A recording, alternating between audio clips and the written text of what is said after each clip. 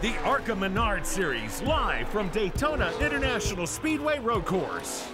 On the gas and green. Great run by these young drivers, making their way forward. Battle for the lead here with under 10 to go. A power move right there. This track is a beast to itself. Who's gonna get it at the line? Wow!